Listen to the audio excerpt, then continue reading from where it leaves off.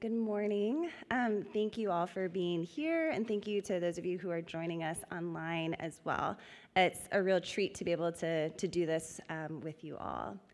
So, when my husband and I first moved to St. Louis for graduate school, we fielded a lot of those introductory questions that people always ask when you're trying out a new church. Um, and when people found out that I was studying art history, the question would inevitably follow well, what kind of art do you study? And I don't know if this is true for folks who are seminarians, but certainly if you are a first year PhD student, you know that when you try to explain what it is that you are working on, it never comes out the way it is in your head, right? It's just, I had a horrible, rambling answer for this. And so my husband, trying to help me, um, figured out a much better answer. And he would say, well, you know, when you're in the art museum and you sort of wander into that section that has a lot of stuff that you're not sure if it's actually art? Yeah, that's the stuff that Elissa studies. She studies the art you don't like. And he's, he's not wrong, is the thing. Um, if you are expecting art to be this beautiful Rembrandt painting or a stunning Bernini sculpture, you may be disappointed when I tell you that I am writing about a bunch of lines on a canvas or a pile of candy on the floor. And especially as a Christian viewer, you might be wondering where the truth, beauty, and goodness can possibly be in objects such as these. But what if we didn't just look at art to consume it or to judge it, to give it a thumbs up or a thumbs down? As image bearers, we are culture makers. And when we look at art and images, I think we can actually do something with them. We're not simply consuming visual information or waiting for an artwork to stir up our complacent souls, but because we operate from a place of abundance as beloved children of God who believe in the restoration of this world, our gaze can actually open up something new. I believe that as Christians, our looking can be generative, not just critical. That our looking can lead to doxology, to lament, to gentle curiosity, to shared delight. It can point us to confession. And in doing so, it can actually grow our love for God and for our neighbor. I argue all this more fully in my book, Redeeming Vision, but today I want to just consider one possible generative response, and that is the response of confession. And I want to do so by looking at two artworks that are both sort of down the road from us at the Art Institute of Chicago. Um, they're quite different from each other, but I, I'm going to wager that both of these objects fall into the category of things that you don't like. Is that fair? Okay, you can just hold that in your heart for a little bit, okay? So, what are we going to do with art that we don't like? Well, we need redeeming vision. We need a way of looking that takes embodiment seriously, that is oriented in love, and that is open to transformation. And these commitments prompt us to give appropriate attention to the object itself to the artist, and to what we ourselves actually bring to the work. Then we might be able to make something of it all. So we'll start actually with the easier one of the two. This is Piet Mondrian's lozenge composition with yellow, black, blue, red, and gray from 1921. But before we jump into what this artwork means, what this painting means, let's first pay attention to what it does as a object. Part of our commitment to our own embodiment is honoring the goodness of the created world that God Himself enters into, to take the material stuff of art seriously. And so that means that we have to grapple with this painting actually as a thing, not just as an image on the screen, but to imagine it as an actual thing, to be attentive not only to what is represented, but how the artist does so. We need to consider what it's made from and in what context. Instead of thinking of art as just an illustration of an idea, we need to take it seriously as an object. Our late friend Tim Keller suggests that if an artwork is getting meaning across in a way that is too apparent, he says it's really preaching rather than art. We can't simply substitute Rembrandt's painting, Return of the Prodigal Son, for a theological commentary on the prodigal son. Instead, we must, as C.S. Lewis said, surrender to the art itself. So, in art history, the practice of close looking is called a visual analysis. To analyze something is to break it down into parts so that you understand how it works better, right? So we can better understand how a bicycle functions or how a flower is pollinated by identifying specific parts and then learning what those parts do in relationship to each other. And that's exactly the same thing that we can actually do with artworks. So, what do we see? My students always hear me asking this what do you see? So, what do you see when you look at lozenge composition with yellow, black, blue, red, and gray? Okay. Well, this is an almost two foot square canvas that's been rotated 45 degrees so that it hangs like a diamond, like a lozenge, on the wall. And there's this irregular grid composed of perfectly straight vertical and horizontal lines that divides the white background, resulting in truncated rectangles and occasional triangles. And then Mondrian fills in some of those shapes with flat color, right? So there's black, there's yellow, there's red, there's blue. Despite the title, there is actually no gray in here. While the painting may seem almost childlike in its simplicity, I would argue that Mondrian creates unity and balance using the formal elements of line, shape, and color in ways that are deceptively complex. How is he doing this? Okay, so Mondrian's network of lines both divides and unites the composition, right? Those narrow black lines, they're less than an inch wide, contrast sharply with the pure white of the background.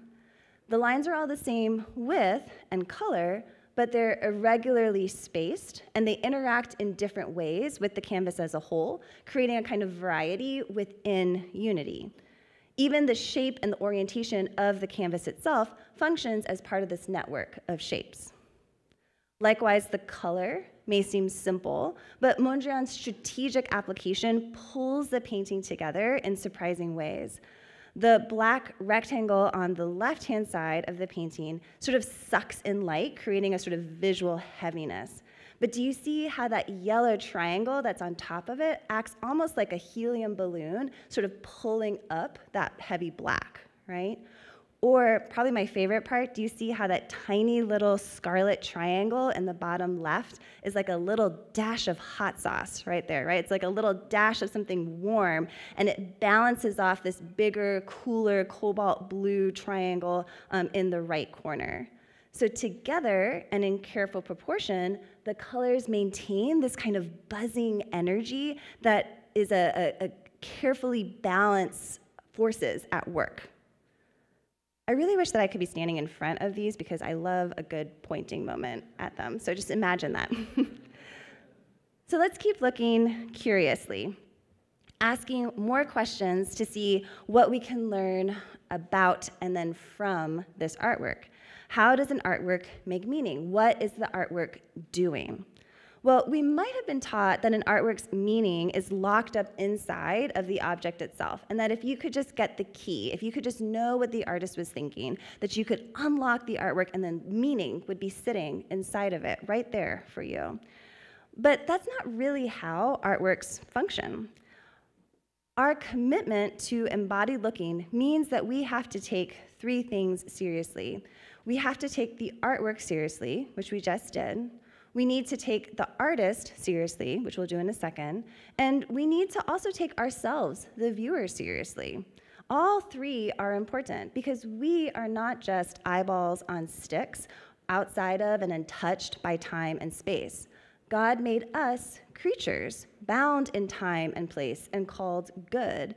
So, acknowledging our own finitude, acknowledging our own embodiment when we're looking at art, means actually paying attention to some of what we bring with us. Now, one way that I like to think about this is something that I call the archive.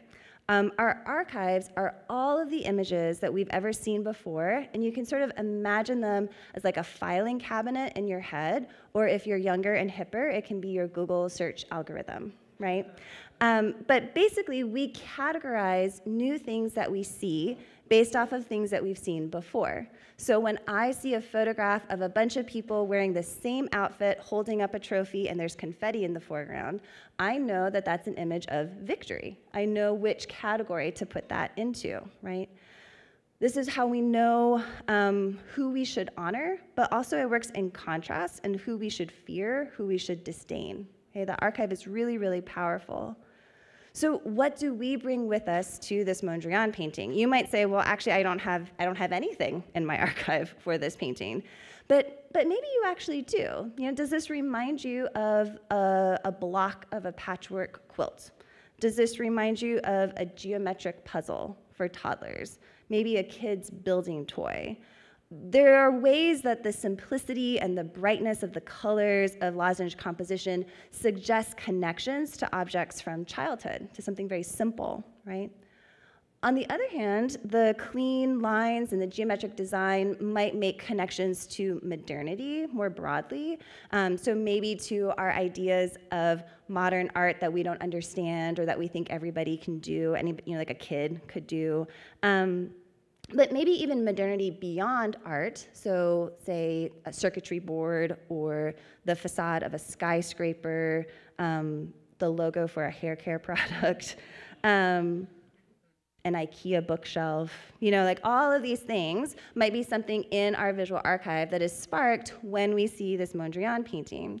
And acknowledging our archive, it's not the basis for how we do interpretation. I'm not gonna say, oh, if you thought of an IKEA bookshelf here, then clearly that's also what Mondrian was after, is an IKEA bookshelf. No but acknowledging what we bring with us, acknowledging our own position, acknowledging our own finitude, um, helps us ask better questions then about the artist's embodiment, right? It kind of helps us get ourselves out of the way a little bit to say, what might I not be able to see because I have all of these other associations?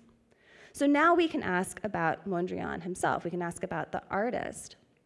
What was his context when he made this work in 1921? Well, Mondrian did not begin as an abstract painter. Um, the Dutch artist was trained at the Academy of Fine Arts in Amsterdam, where he painted mostly representational landscapes. And then as a young man, he became interested in theosophy, a spiritualist movement that mixed elements of Buddhism and Hinduism with ancient Greek philosophy and like a dash of modern science. So theosophists emphasize the inadequacy of science alone to comprehend reality, instead urging people to seek higher spiritual truths. So for Mondrian, this had clear implications for his painting practice.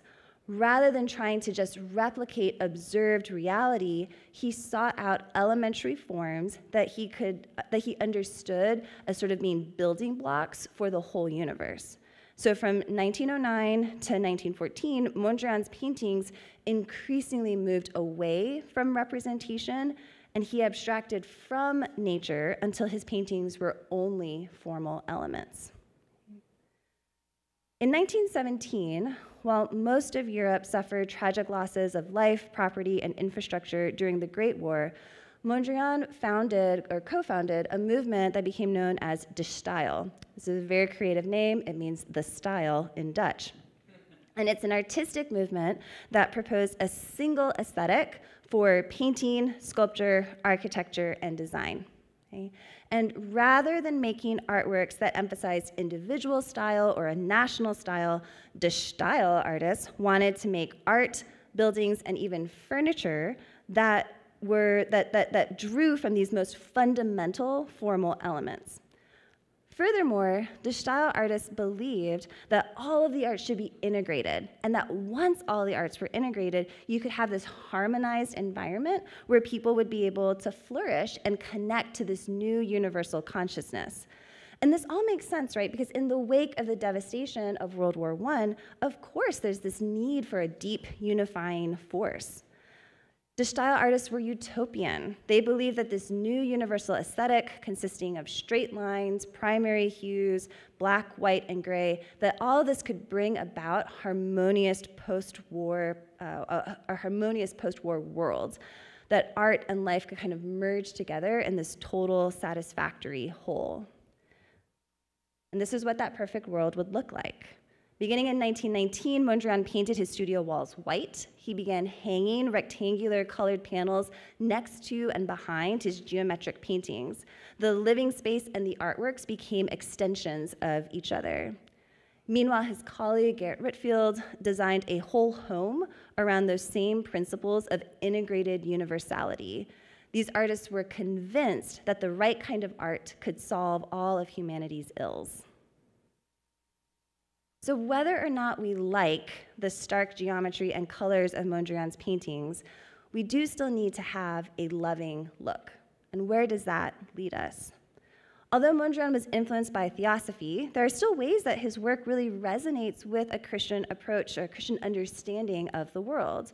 For example, at the heart of the De Stijl movement is the recognition that we are more than material, that the scientific method, though valuable, cannot fully account for all of our experiences as embodied souls and image bearers. Furthermore, furthermore, De Stijl artists acknowledge the brokenness of relationships that exist today and while their work was directly responding to the trauma of World War I, we can see how that conflict is really just one manifestation of the rupture between ourselves, our environment, and our God that results from the fall. We know that because we know the bigger story. But loving vision, of course, goes hand in hand with seeking truth. So while Mondrian may identify some of the same problems that Christians recognize in the world today, his proposed solution is quite different, right? Mondrian's savior is the spirituality of non objective art. He claims that the erasure of distinctiveness can provide a path to a utopian future. Further, we could also see him demanding that everyone become more like him in order to achieve a utopia on earth, a paradise on earth. And that's a really different vision of paradise than what John describes for us in Revelation 7, where he sees a vast multitude from every nation, tribe, people, and language, which no one can number standing before the throne of the Lamb, right? The God who commanded humans to be fruitful while filling and cultivating the earth welcomes a diversity of people into his throne room in heaven. They are united, and yet they are still identifiable in this distinct way.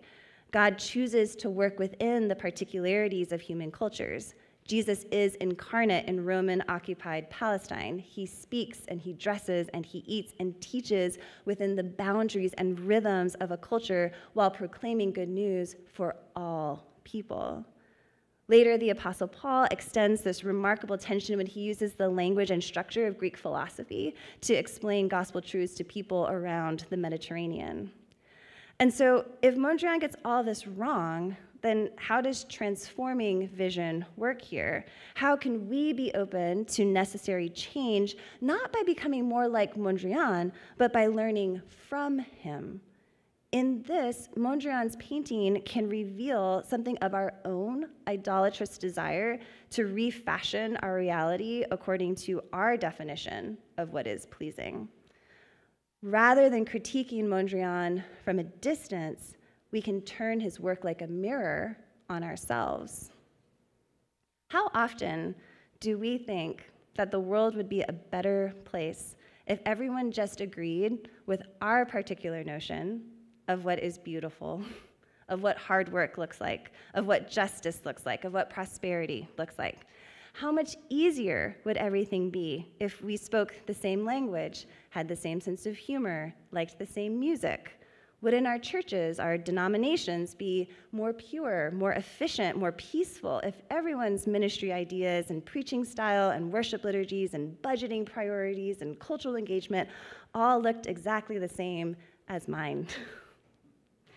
Redeeming vision allows us to respond to Mondrian's painting not simply with criticism of him, but with something new, a recognition of and confession of our own idolatry of self. Mondrian's desire for a harmonious world echoes the very human longing for right relationships to be restored.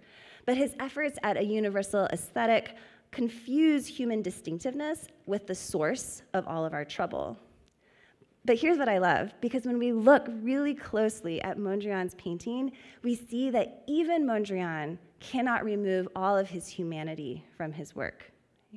In lozenge composition, we find the tiniest little wobbles of black lines and repainted sections along the edges where he seemed to have changed his mind about whether he wanted that black line to go all the way to the edge or whether he wanted it to be squared off. Despite his claims to universality, his painting still bears the mark of the particular. Mondrian cannot escape his own creatureliness, and I love that. So, did you see what we did? That's pretty cool, right? We engaged with a work on its own terms as a physical object made by a particular artist in a particular time and culture while acknowledging our own finitude as a viewer. And then we looked lovingly, anticipating that we might find something that still resonates with us in this unexpected place. And then finally, we anticipated our own transformation, acknowledging that while we might not agree with Mondrian's vision of the good life, we might actually be more like him than we care to admit, and that we need to confess.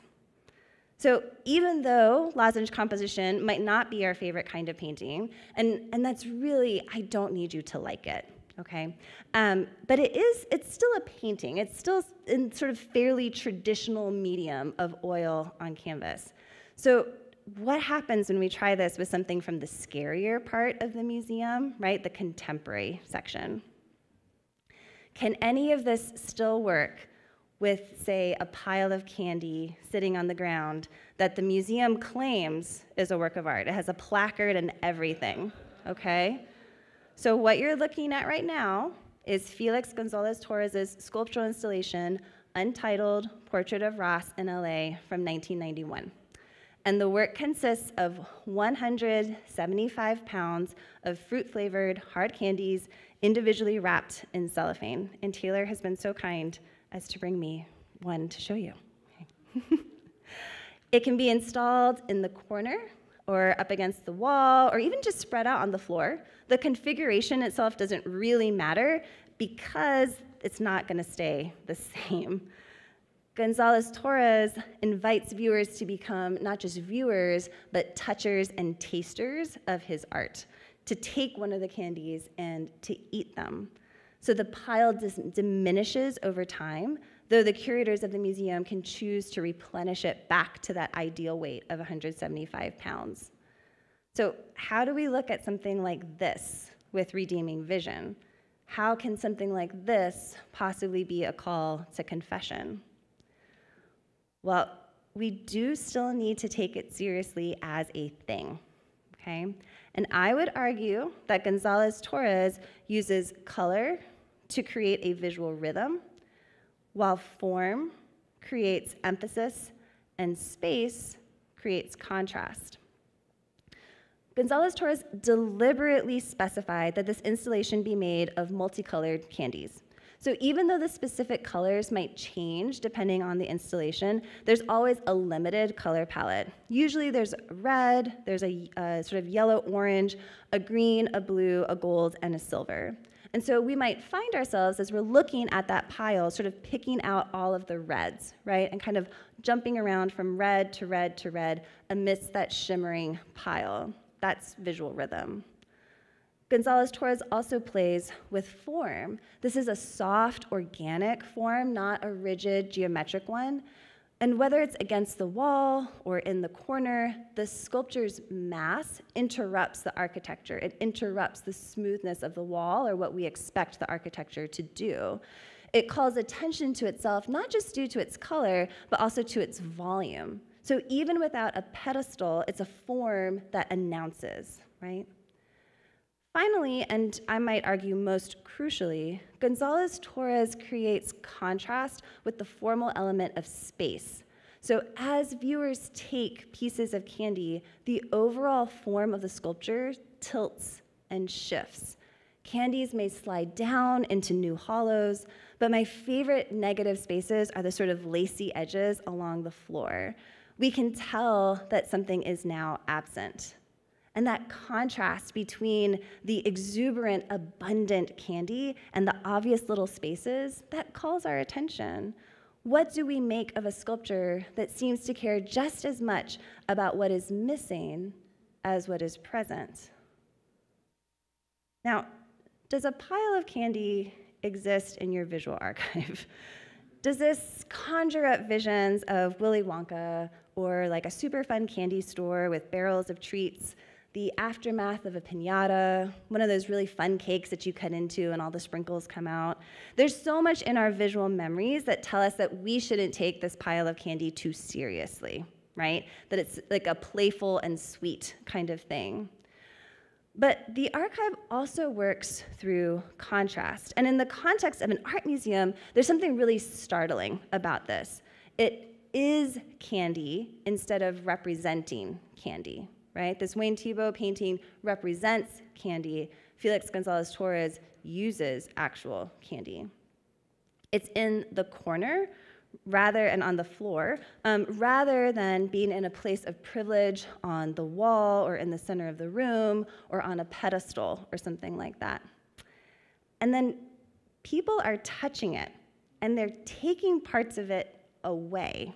And you're really not supposed to do that typically in an art museum. Do not take this as a guide for your future interactions with artworks in museums. Okay? We can't just look with our eyes because Gonzalez Torres activates our entire body, right? In order to see this work, we have to crouch down. We touch the feathery end of one of these little candies. We feel that slight weight in our hand. You can even hear the crinkle of the cellophane as you unwrap it. I'm not going to eat the whole thing right now, don't worry. Um, when you unwrap it, you can catch a whiff of that fake fruit smell as you bring it closer to your mouth. And then we taste.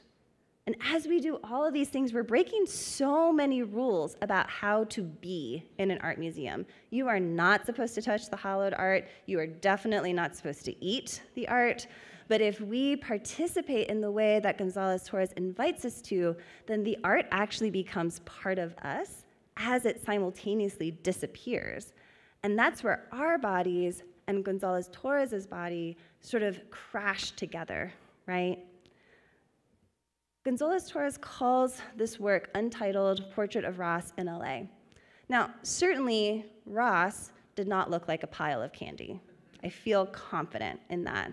So, Gonzalez Torres is clearly using this candy as a symbol for whoever Ross is. The specific weight, 175 pounds, as indicated by the museum placard, suggests that this is a body. And in fact, this is supposed to be a representation, it's a symbol, it's a monument um, to the body of Gonzalez Torres' deceased boyfriend, Ross, who died in 1991 from complications with HIV AIDS. Okay. Gonzalez Torres himself dies from HIV AIDS complications in 1996. But he made this memorial to his dead boyfriend in the midst of a highly charged culture war and a moral panic over the HIV AIDS epidemic. We don't have time right now to go through all of the historical, political, and theoretical contexts that have formed Gonzalez Torres, but I would love to talk to you more about that later. Um, but it's clear from interviews that Gonzalez Torres clearly saw this sculpture and others like it as a means of reenacting what was happening to Ross's body as it was ravaged by this deadly new virus. He said, quote, in a way, this letting go of the work this refusal to make a static form, a monolithic sculpture, in favor of a disappearing, changing, unstable, and fragile form, was an attempt on my part to rehearse my fears of having Ross disappear day by day right in front of my eyes. He's describing it as a liturgy, right? And yet, this is also an act of profound generosity. In the same interview, Gonzalez Torres said, I wanted people to have my work. The candy pile is renewed each night rather than being utterly depleted. This monument of loss and love continues perpetually. So perhaps there was another way that our archives were sort of prickling when I described this work and people taking and eating. Does it remind you of the Lord's Supper? This too is intentional because Gonzalez Torres was raised Catholic in Cuba. And while he no longer identified as a Christian, he was acutely aware of the sacramental resonance of taking and eating a body. But Gonzalez Torres was inviting people to interact in an intimate way with a body that had been derided um, by many in society at that time, a body seen as unredeemable and as a existential threat.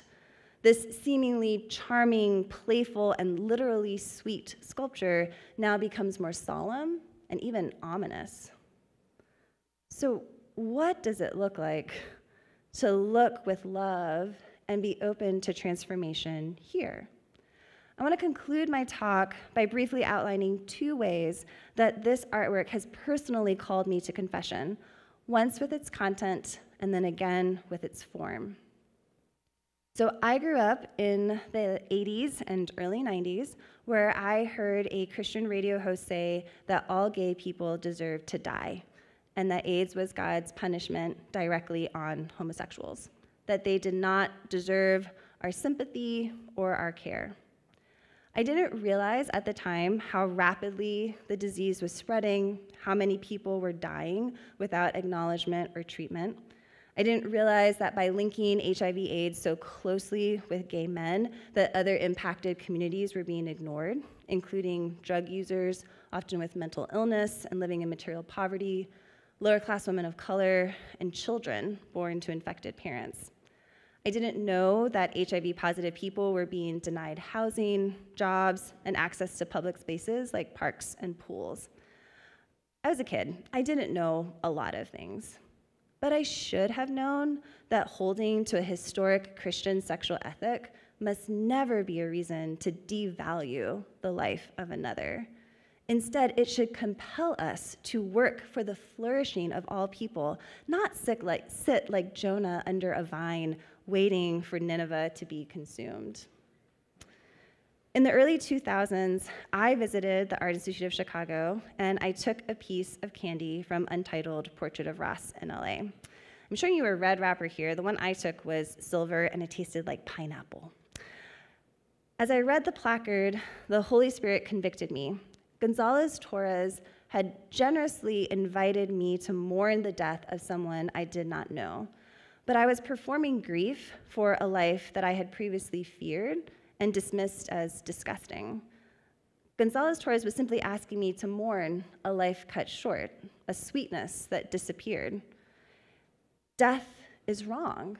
Death is an effect of the fall, and it is always deserving of our grief. And so I had to confess, God, I'm like the Pharisee in Luke 18 who prayed, God, I thank you that I'm not like other men, right? But of course, the cracks of the fall ripple through me too. My own theology teaches me both that all fall short of the glory of God and that there is no brokenness so great that it is beyond the reach of Jesus' saving grace. This encounter with Gonzalez Torres' work literally transformed me. It changed how I understood art from being something to deconstruct to being an invitation to compassion and curiosity, and it quite literally set the course for my graduate work. I wanted to learn more about contemporary art that rubbed me the wrong way because I figured there was probably something wrong with me, too. But there's another way that Untitled Portrait of Ross in LA has prompted my confession. The actual form of the work has convicted me, too. As I mentioned earlier, the negative space of the pile of candy, the places where things are obviously absent, that's what's given priority here. And this is such a different way of seeing the world and seeing art than how most people in the West have been taught. Most Western sculptures and paintings tell us to pay attention to the thing itself. You pay attention to the subject, not to the background, right? You pay attention to the sculpture that takes up space, not to the space that's around it. We give honor to things that are in the center, that is commanding attention, not to the things that are in the margins or on the shadows. But in Untitled Portrait of Ross in LA, the margin of the gallery is the activated space, and the absence is where meaning actually begins. And I'm reminded so gently and unexpectedly of how Jesus gave his attention to those who had gone missing from polite society the Samaritan woman, blind men, the demon possessed, tax collectors, prostitutes, lepers, foreigners, children. Jesus isn't dazzled by main characters. Instead, on his way to heal the daughter of a synagogue leader, Jesus stops because he realizes there's an absence. He realizes that power has gone out from him. And in noticing that absence, he sees the woman who has been bleeding for 12 years. He witnesses her distress and he tells her, Daughter, your faith has healed you. Go in peace and be freed from your suffering. Paying attention to negative space has implications for how I look at images and how I engage my world. It means recognizing the gaps in my own visual archive. What images are absent from my idea of what a good life is? What has my catalog of images taught me about beauty or marriage or motherhood? What does a worthy immigrant look like, and who am I allowed to ignore? How does what I see, and especially what I don't see, form or malform me in a particular way? Now, you might be thinking, as my students sometimes do, this sounds like a bummer of a way to look at art. You're just looking for what you do wrong. I thought art was supposed to be an escape. I thought art was supposed to be about making me feel good about the beautiful. Why are you making it all about the confession of sin? But, friends, is there anything more beautiful than being able to confess to a God who we know hears and forgives. When we look at art to learn something of ourselves, to be generative, so many more objects open up to us. Dorothea Lange's Migrant Mother challenges my assumptions about the deserving or the undeserving poor. Carrie Mae Weems's photo and text juxtapositions have called me to confession over the unthinking assumptions I've made about race and history. Donatello's wooden Mary Magdalene asked me to acknowledge my own finitude. Mark Rothko's color field paintings have made me aware of how bad I am at being still. Adelaide Labille-Guiard's self portrait with students pokes at my own desire to construct a public persona. And Eva Hesse's ephemeral latex and fiberglass sculptures that change over time have made me confess my desire for control.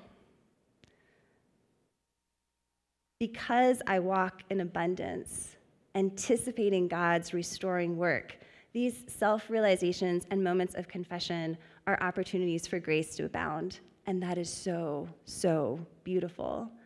And as I confess God, I don't see as I ought. My love for God grows as I marvel that He sees me, a half Japanese woman from Hawaii, from a family of first generation Christians and that this God, El Roi, the God who sees, he's the same God who saw Hagar desperate and desolate in the wilderness. He moves towards her in love, addressing her unspoken fear for her unborn child and promising a future that must have seemed unimaginable to her as an enslaved woman. And what happens? Hagar is transformed. She is changed so thoroughly that she literally repents. She literally turns around, right? And she heads back to Abram and Sarai. What causes this radical alteration? God seeing her changes everything. The God of the universe gazes upon her with deep love, with creative attention. He sees what does not yet exist, and he offers this vision to Hagar. Renewed by this knowledge that she is regarded and cared for, Hagar steps into obedience, confident that her longings will be fulfilled. And so, this is redeeming vision looking as creatures embodied, formed by our loves, and in need of transformation. Our looking can be generative, making something new from the abundance of grace we already inhabit, even and especially when it's the art we don't like. We can look at Mondrian's abstract painting and respond with confession, acknowledging the ways we want to remake the world according to our own rules, ignoring the gifts of our neighbors in favor of our own preferences. And we can engage Felix Gonzalez Torres's candy pile portrait perhaps repenting of our own lack of love or a refusal to look, as Jesus does, for the gaps and the absences. Both artworks, again, I don't need you to like them, but both artworks can prompt in different ways growth of our love for God who sees and transforms us. So may God give us eyes to see. Thank you.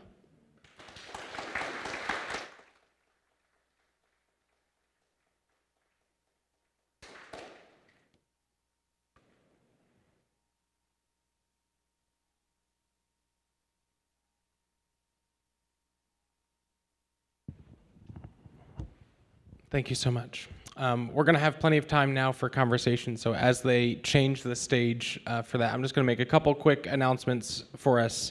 Um, the first is if you would like to get uh, this her book, uh, Redeeming Vision. We don't have copies here. I'm sorry for that, but it is currently for sale for 30% off if you go to the Baker Academic website, which means you can get it for $20. So I would encourage you if this lecture sparked your interest and you want to learn more, please do pick up a copy of the book at the Baker Academic website for 30% off. Um, next, I just want to quickly tell you about our next event, which is coming up on November 9th. Uh, Winn Collier, who was a pastor for a long time and then recently started the Eugene Peterson Center at Western Theological Seminary, is going to come and give a lecture called Ancient Vision and Fresh Courage Reawakening Our Pastoral Imagination. Um, again, so that'll be Thursday, November 9th, same place, same time, 11 a.m. Please do join us for that as you're able. Um, but now, first, of course, we have plenty of time for conversation. So I'm going to invite up Taylor Worley, who is a longtime friend of mine and of Trinity and of the Henry Center. He's going to respond to Elissa's talk, and then we're going to open it up for questions. So if you have questions um, when he invites you, please do make it to one of the microphones here, and uh, we're excited for this conversation. Okay. Oh, I'm gone. Um, Elissa, thank you. Uh, I just have to say, as a point of privilege, as someone who has spent most of their career trying to find creative ways for others to have the kind of transformative experiences with modern and contemporary art uh, that you just modeled so well for us, um, it is just great for me to be here. it's really wonderful to see you do it. I think the thing I want to uh, celebrate and sort of thank you for is um, just the kind of the careful and wise, and I mean, I think I can go out on a limb and say sort of pastoral way in which you led us through um, a kind of rich and deep engagement with these two particular works. I mean, you could, those are a lot of slides, but I'm sure you've got more slides, and you could have shown us many more images. But to get the um, to kind of, um, you know, for us to have the opportunity to enact the kind of approach that your book so capably lays out for us is just a real um, it's a great learning opportunity but i think it's it's not just an opportunity for learning it's an opportunity for formation. Um, and i'm excited about that because i am interested in in this question of can we see um, the world, in this case, can we see the world of art differently? You know, and I hope um, I hope you're curious about these questions, and I'll just invite you to go ahead and get your questions going. Or I'm just gonna uh, I've got a lot of notes here. I'm just gonna keep asking questions all all um, you know for our whole time. So just just so you know, if you've got questions, feel free. There's like two microphones here. You can line up. Um, and uh, you get some questions ready for uh, Dr. Weichbrodt. Um, but I, I have a lot I want to think with you about.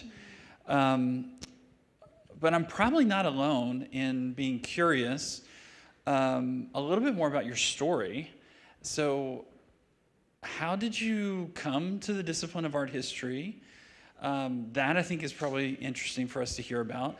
Um, but maybe more importantly, the second thing I want to, I want to ask you about is how did you um, come to this place of this sort of rich theological integration? Um, I'm assuming that didn't happen in grad school. uh, so I, I see in, in your method that you've walked us through today this um, kind of rich interweaving of the dynamics of grace in the gospel itself. And I think, I think we'd all probably benefit from just hearing a little bit more about one, how you came to the discipline of art history, but two, how did you, you know, how did you manage to make these connections and sustain them and, you know, in your own formation as a scholar? Okay, I'll stop talking. I want to hear from you. Thanks, Taylor. I really, I, that's a great question. I appreciate that. Um, I appreciate your kind words too. So, uh, my coming to art history and thinking about the integration of faith with art history is all actually the sort of the same story. Um, when I was younger, I was I was raised in a Christian home. Um, my church had an Awana clubs, you know, like the memory verses, and you run around the circle.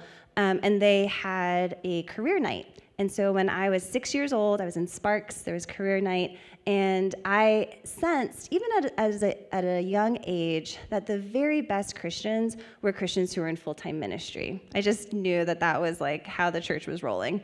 And I thought, well, I'm a woman, like, oh, I'm going to be a woman someday. I'm six right now, but I'm going to be a woman someday. So I guess, I guess I need to be a missionary because I really want to be the very best Christian that there can be. So I guess, I guess that's what I'm going to do. But I also really loved art. I was drawing all the time. I always wanted to look at art books. Um, and so my first foray into the integration of faith and learning was dressing up for Awana Club's career night when all my other friends were teachers and firefighters and doctors, and I went as a missionary to Japan who illustrated children's Bibles. because that was that was the best I could do for trying to figure out how to jam these two things together.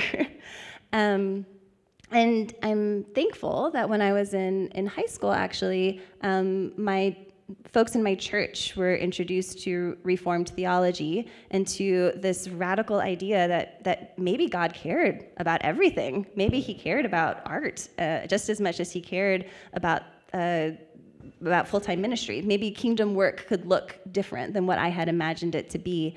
Um, and so through that introduction to folks like Calvin, Sier- Calvin Seerveld and Nicholas Wolterstorff and Francis Schaeffer, um, just this whole world sort of opened up to me of I don't, I don't have to choose. I could, I can do both. Um, so I ended up going actually to Covenant College, where I now work as an undergraduate. Um, they did not have an art history program. I just I went because I knew that I would get I would be taught there how to integrate faith and learning. Um, and so that's where I first took an art history class. I went in thinking I wanted to be an artist. I took my first art history class. It was 8 a.m. in this old barn because they always stick the artists in like the worst buildings on campus. And so we were in this old barn, and it was dark and they would turn off all the lights so they could show slides. So there'd be the whirring of the slide projector. And the teacher the professor had this incredible rich voice and he would just lecture at us in the dark. And everybody he'd turn the lights on at the end and everybody else would be asleep. And i would just be like furiously scribbling notes. And i knew then that like probably if i could stay awake at, for art history in the dark at 8 a.m that this is what i needed to do for the rest of my life. Um, so it was really at Covenant, like though I had a limited art history education there, that this this conviction that everything that I was learning theologically had to matter in some way to how I did art history um, really crystallized there. And when I went to graduate school, um, it felt like a lot of trial and error of, of trying to figure out how do I um, how do I study contemporary art that I like but nobody else does um, in a way that makes it accessible to the church? Um, how do I study contemporary art in a way that shows people who know the same story that I do that there's there's so much richness here for us? Um, so that's really, I mean, that's how it came about, and it, it so much of my own wrestling through of why does this artwork rub me the wrong way? And learning to say oh maybe that rupture is an invitation rather than a, a, a, a sign that i need to walk away right? What if that split is actually an opportunity to step into something rather than a divide that can't be overcome Yes, please. Oh my goodness. I, yeah, I mean it's yeah. I could say a lot about that. Um, okay, I'm gonna, I'm gonna ask one more question and then uh, throw it to uh, the group here.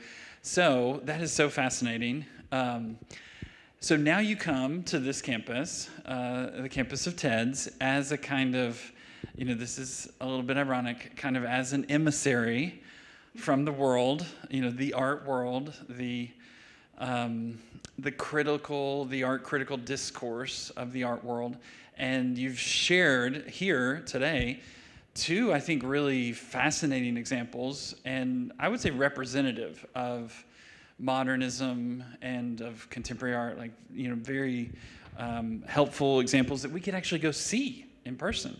Um, so I wanted to kind of um, offer you a chance, and because of kind of the close reading and the deep dive into these two works, to maybe just zoom out a little bit and give us kind of a report as this emissary from this other world that what are what what would what do you see as some of the general conditions um, you know kind of operating whether it's in modernism or in contemporary art maybe more particularly as you know kind of optimal conditions for the kind of engagement you're inviting like what are you know kind of take a chance take a moment to kind of think you know, what are what's broadly happening in modernism that Mondrian is representative of, or in contemporary art that, and you can pick either if you want, um, that that Felix's work is re- representative of. Um, you know, as for, for instance, there's no kind of agreed upon agenda as to what contemporary art should be. Anything can be art. You know, anything and everything can be art. Is that kind of is that pluralism? a good thing or a bad thing? Is it a problem? Is it an opportunity? How do you sort of see that? So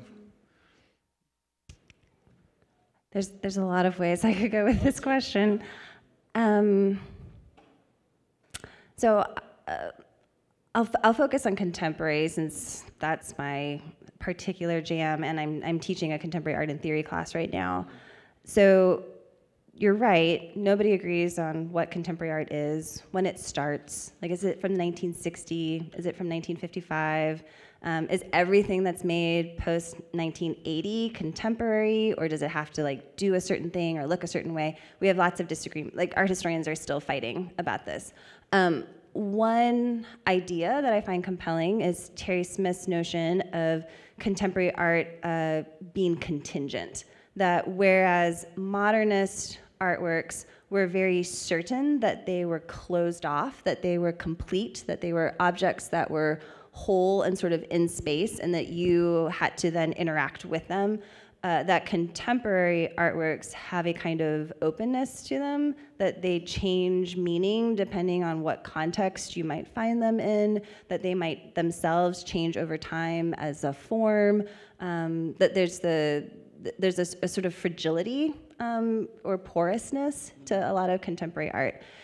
Uh, and I, I personally have found that to be really compelling as a Christian, as this perpetual reminder of my own porousness and contingency and frailty. Um, that it that contemporary art reminds me over and over again of my creatureliness, of my finitude. Whereas when I'm looking at you know these these modernist paintings or modernist sculptures it's easy to imagine a more triumphalist human history where we just we got this together and we're like going for the gold right? And then you get to the contemporary section and you think oh we do not have it together.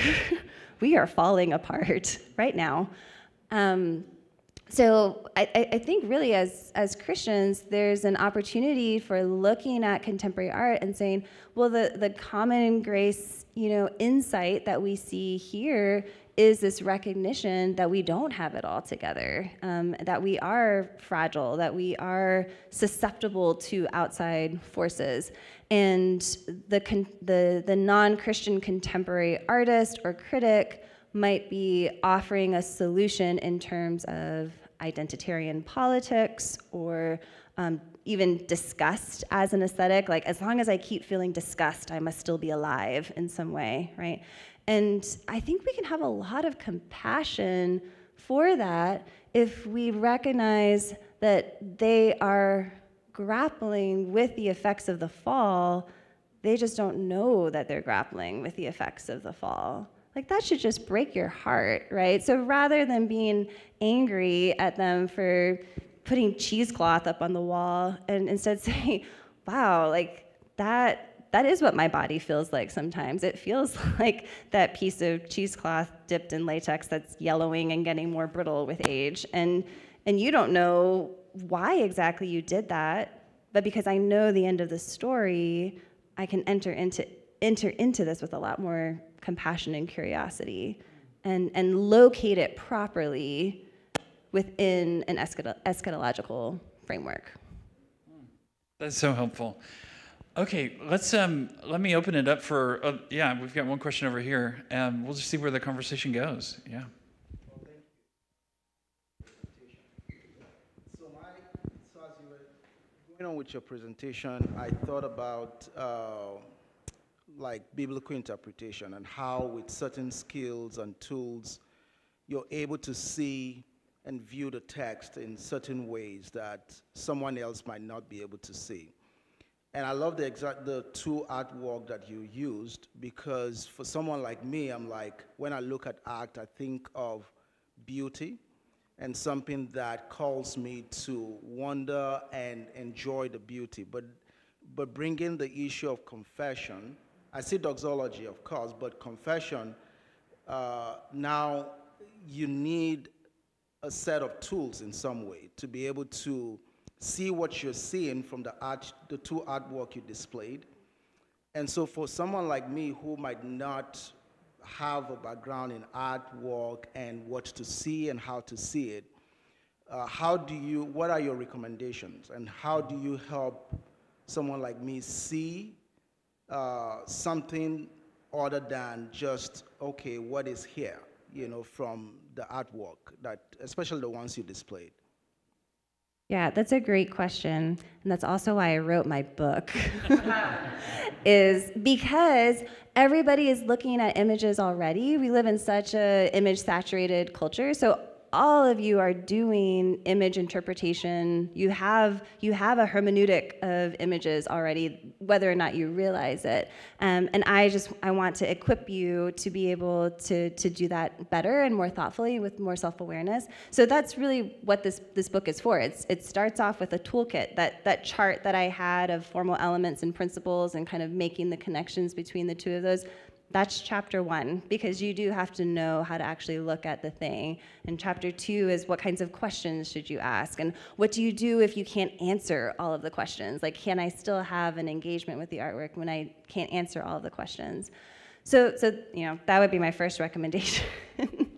my second one is to be is to be patient with yourself and to take um, to use the resources that museums often try to give you with the wall text. So, giving yourself time to. Um, someone asked me recently how I ever make it through a museum if I'm analyzing every single thing, and I and I don't. It's very important that you don't try to analyze every single thing that you see in the museum. What I do instead is I'll walk through and I'll sort of let myself pay attention to the things that I am drawn to and the things that I don't like. And then I'll choose one or two things to go and spend some time with and ask myself, why do I really like this thing? Or ask myself, why do I not like this thing? And because, much like it is with scripture, sometimes I know that I need to read the minor prophets because I don't really like reading the minor prophets. And so then I'm like, oh, I should probably read the minor prophets. Like, there's probably a reason why, why I need to do that or just thinking about even some of the, the forms, um, the literary forms that are in the Bible that we think we understand, but we don't actually understand unless we have a little bit more context. I think as, as folks who are theologically trained, you actually have this great resource. You understand like the process of interpretation and hermeneutics, and that it might take some, some extra effort. So now it's just finding some of those resources that the museum can provide, that hopefully my book can provide, um, to, to put that into place. Mm-hmm. Thank you so much for your talk. Um, as someone whose art ability ends basically before stick figures, um, I really appreciated this and, and for the way that it sort of broadens my imagination. My question is about uh, the normativity of art uh, and the way that that comes into conversation with uh, art criticism and our own perception of that artwork. Uh, so it strikes me that uh, any piece of art, by nature of its existing, uh, is making a normative claim on our way of being in the world. And that in order to understand or to come before a piece of art to appreciate or to confess, we need to meet it according to its normative assumptions of what it means to be in the world. And therefore, our um, conversation with that art is sort of in resonance with it on sort of the ontological or epistemological playing field that that artwork lays out before us. And so, even as art is a product of a particular uh, cultural or social imaginary, in order to do justice to that piece of art, we have to step into that or alongside of it. Um, my question then becomes are we, uh, how, how, do we both uh, accept and, uh, and engage well with that sort of um, normative principle of being in the world while also saying not all normativities are good? Uh, and how do we sort of both um, appreciate the other that is the artwork and the artist behind it, uh, as well as appreciating um, the other who norms us, that is God? I mean, isn't, isn't that the question of the whole Christian life, right? um, I, I think one of the reasons why talking about our own visual archives is so important to me in this project is because it's an acknowledgement that even though we need to have curiosity towards and an awareness of the what you're calling like the, the normative claims of the artwork and the artist who made the work that we can also never fully inhabit that that there is still some sort of gap that's always going to exist that i can never actually see michelangelo's david the way that a 16th century italian man saw michelangelo's david. Um, and that but but I, I think what's so what's so beautiful is that i don't have to. That, that if we believe that our creatureliness, our finitude is good, and then I'm, I'm drawing from my colleague Kelly Kapic here, if we believe that that is good, then my goal is not to transcend that in order to fully submit to an artwork. My goal is not to transcend that in order to like approach an artwork as an objective I, um, but it is instead to negotiate with. And so never having to give up my understanding, my beliefs about reality, while still being able to, to look honestly and well at these other normative claims. Again, that's, that's not a problem that's just about art, that's about how we interact with our neighbor, right? That's how we interact with um, any sort of historical artifact or text, even as well. Um, does that answer your question? Does that start to get at it? You don't, you don't look convinced. okay. Thank you. Um, so first of all, thank you so much for coming here. I appreciate the artistry of you, your hair, your outfit, the green, all of that.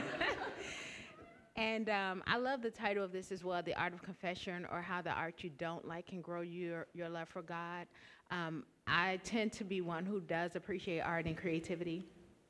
And a lot of times when I see beauty, it makes me have a greater love for God and appreciation for the, the, the artistry that He has in creation and in uh, all of us. I must confess, when you were giving us the background of the, um, the, the Ross piece, when you began to talk about how it was um, from a representation of his um, lover who died from the HIV complications, and then um, there was a comparison of how he viewed it with the Lord's Supper. I confess immediately that I was like, hmm. I said that's a perversion um, to make that comparison. And then I had to stop myself from going there and thought about, you know, maybe the pain that he walked in and um, the beauty of him wanting to share and also acknowledging you know, him watching his partner like waste away. Um, all of those things came to mind, and I just want to also just say that I appreciate the way that you have challenged me to look differently at something maybe that initially I thought mm, about, and I can see it from a different perspective because I stepped back and looked at God in it, looked at His humanity in it, and also um, wanted to find out from you: Did you purposefully choose those two pieces? How did you come to um, selecting those two to share for the talk? Uh, Thank you for that. I'm, I'm, I'm glad to hear that um, and impressed that you're able to sort of process all of that uh, in, in, in, right in this room. Um, I do want to make clear that Gonzalez Torres is, he is not equating his sculpture with the Lord's Supper. It's not supposed to be a substitute for the sacrament of the Eucharist. But because of his Catholic background, he sort of has this sacramental understanding of how objects and materials might work in that way. And he's, he's anticipating a resonance, but not necessarily a correspondence. Um, so I chose these two works because they're in the Art Institute of Chicago, and whenever I get the chance to travel and speak in places that have good art museums, I want you to go see the art in person, you know? So I want I want this to just be a little teaser of, oh, maybe I should actually make the trip down there and like go see these things um, as, as objects. Um, I also chose them because I, I feel generally uh, the things that people don't like are non-representational art. So it was like, what am I looking at, right? Some lines. Um, and art that you're not sure if it took any skill to make. So what's, what's skillful about putting a pile of candy on the ground? Um, so I felt fairly confident that I was choosing things that at least a few people in the room would be like, mm, this is not my thing. Did I do a good job? Excellent. Okay, yeah, Jeff, please. Um, Thank you so much uh, for the talk and for the ideas. I, I think this is, for me, as someone who comes from a more pastoral background, is, is challenging for me um, because I see so much of the discussion on spiritual formation with this, within this entire discussion. So that's my first question is really, how do we as pastors or people who are in ministry, we are really bounded, to, what, we are, what we perceive as spiritual formation is usually the written word, is text. And uh, so, how do you see integration uh, with more different media uh, within uh, spaces that are specifically geared towards sp- spiritual formation, like worship services, like our seminary here? How can we engage more intentionally with different works of art as part of our spiritual formation mission at Trinity? And my second question, which might, I don't know, feel free to be as controversial as you like. Especially as evangelicals, we like to make art that is nakedly Christian, or at least is marketed that way. We tend to be critical of work that is not non Christian or is secular. Um, how do you respond to that, or to Christians or you know, people who kind of see that dichotomy of art? This is art, non Christian art, so we don't pay attention to it. This is Christian art, you know, so it has nice, nice colors. It's safe. Safe. Um, Thomas Kinkade. So please, if you would, offer some thoughts on that and maybe ways you see forward for the church uh, to operate in the, in the, with the attitude and within the space I think you're advocating for.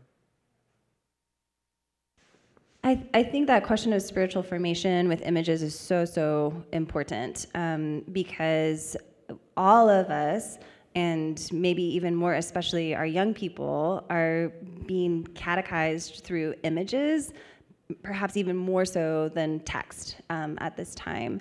And uh, I mean, I, I can think of some, some very practical kinds of things. Um, like I've encouraged uh, some classes that I've done before to keep a log just for a day, because it's too hard to do it for more than a day, but just for a day, try to keep a log of all of the images that you see. And where are you seeing them? Can you kind of like loosely categorize subject matter, things like that? And then at the end of the day, just sort of paying attention to, um, well, first of all, how many images you saw in that day, uh, and then thinking about the context in which you in which you consumed them. Um, one thing that I realized through that exercise for myself was that I- was seeing a lot of news images in my social media feed, and what that meant was I was seeing a lot of like images of war or a natural disaster immediately after a friend's photograph of their baby, you know, or like immediately after a really beautiful kitchen. And I, I realized that that the cultural liturgy that I was enacting of saying that all of those images were the same and that all of those images could be handled in the same kind of way was false. Like I I wasn't in a good space to to really think about the humanity of the people who are in that news photograph when I've just been looking at pictures of like ice cream, right? Um, and so I actually, so I made the decision to to to stop following news in my social media feed, and because I needed to be able to say I'm going to give that a different kind of attention. So I had to sort of even recognize what are the what are the stories about the images through even how I am interacting with them that are forming me in ways that I that I, I don't want to be formed.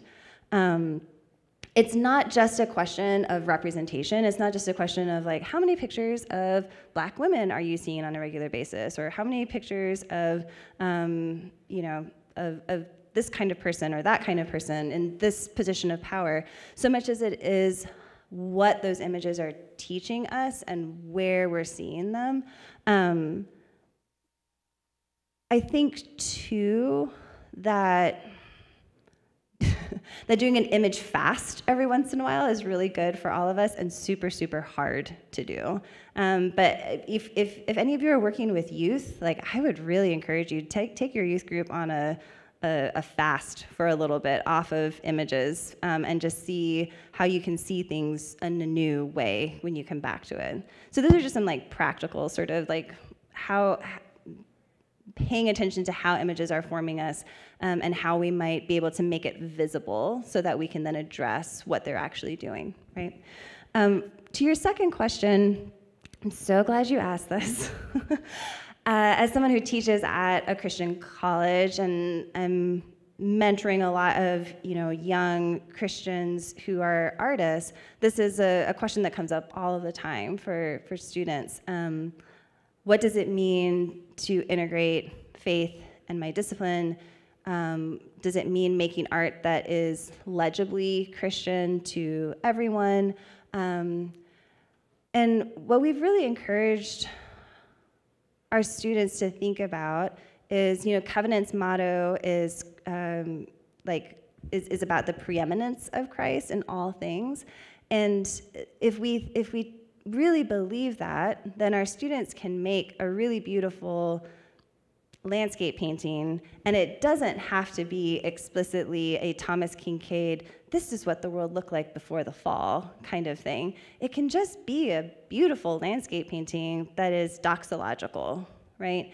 And so helping our students um, see the, the range of ways that art can operate in the world. And even using the psalms as a kind of model for that how you know we don't we don't really have a corollary to visual art in the bible but the psalms provide this really sort of lavish spread of different creative ways that of, of poetic ways of responding to god that run the gamut from doxology to lament to confession to imprecatory like what do we even do with those right? Um, to historical so there's all of these ways that we can respond to god um, and our visual art can can participate in that same way.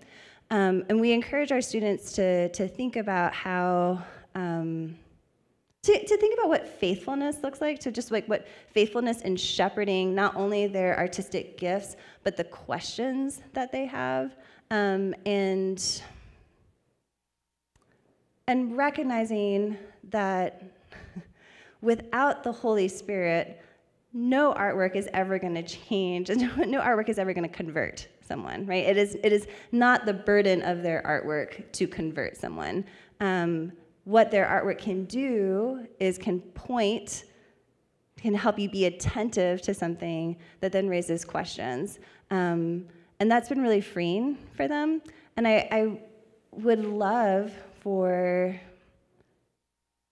I would love for more congregations to be able to encourage the creatives in their midst to feel free to pursue that sort of wide range of artistic responses while also recognizing that there is a particular and beautiful role for liturgical art itself. Like I think that there there are artists who are specifically called to make art for worship spaces.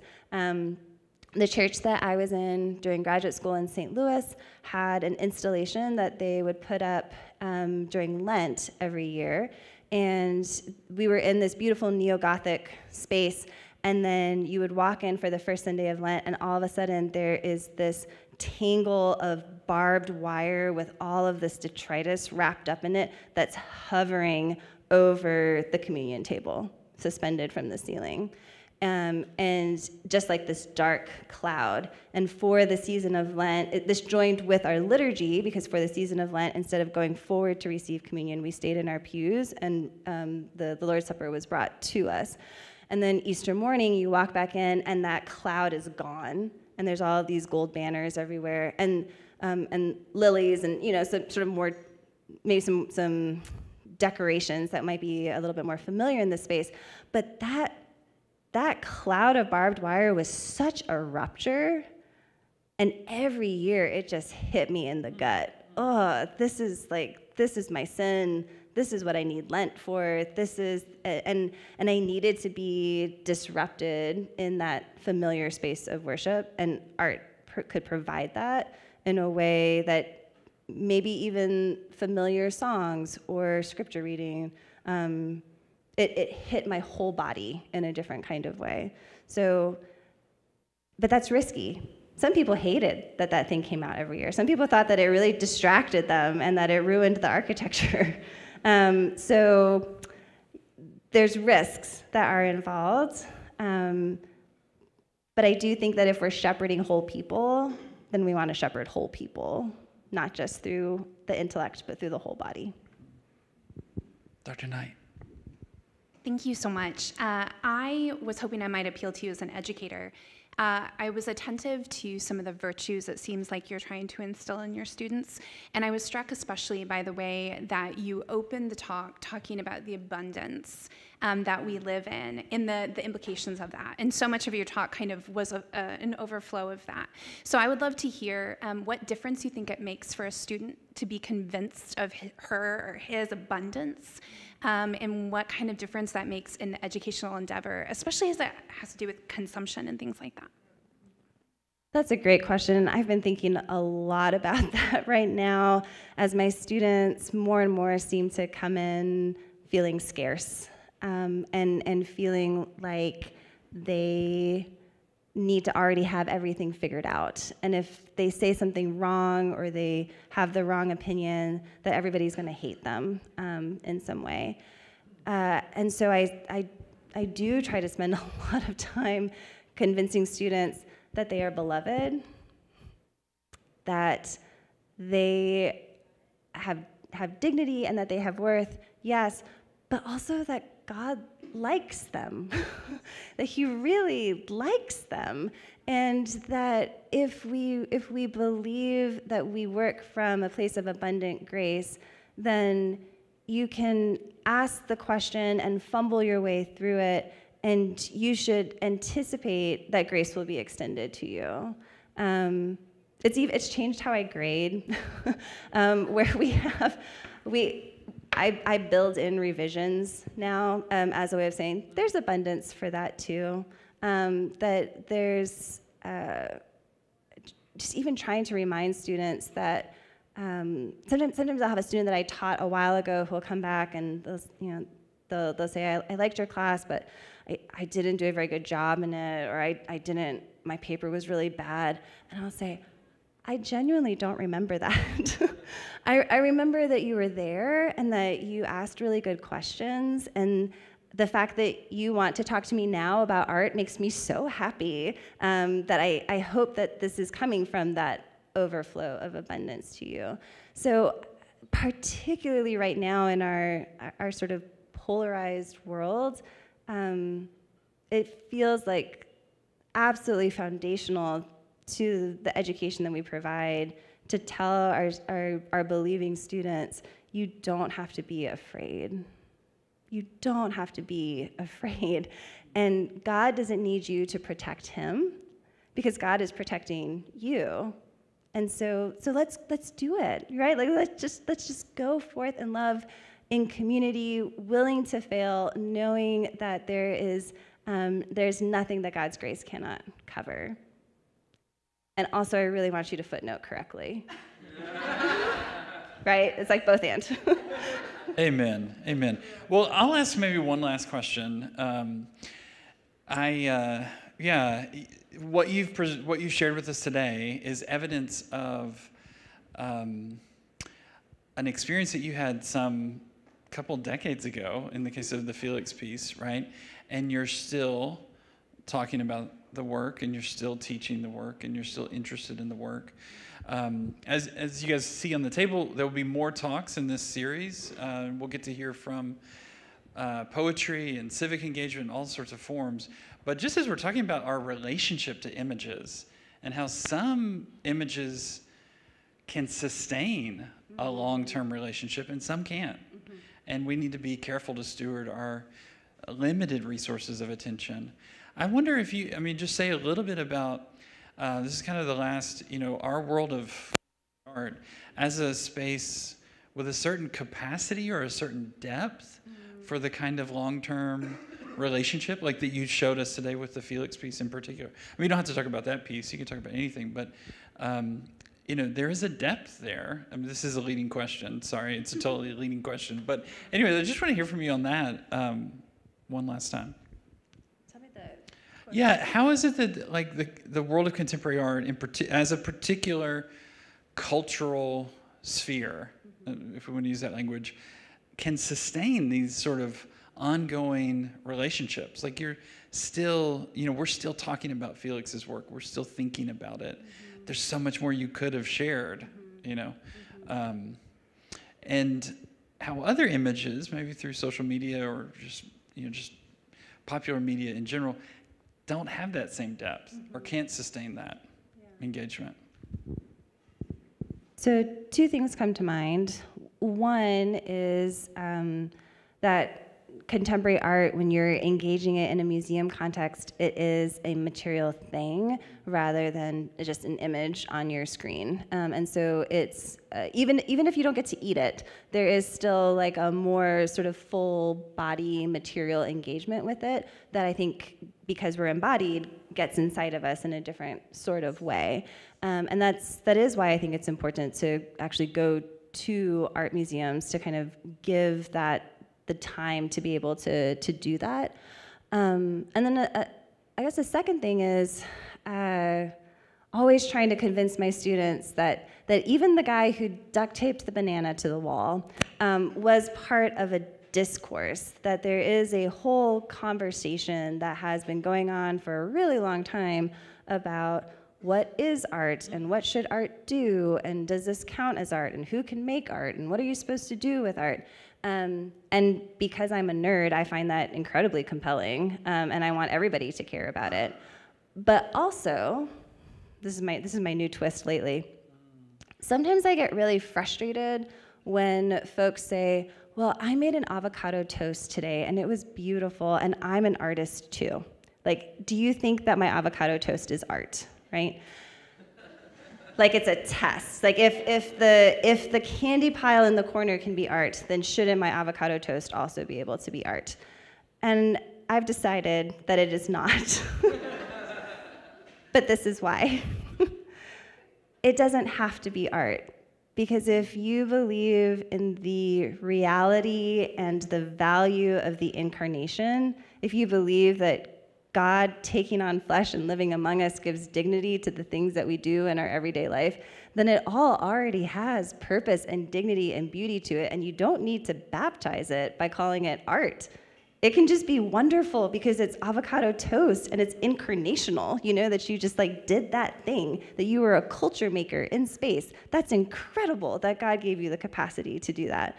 Some people might want to also participate in this other discourse about what is art and what should art do, and that's great. But if that's but you don't need to feel like you have to call what you make art for it to matter because it already matters to God, and that should that should be so freeing for you.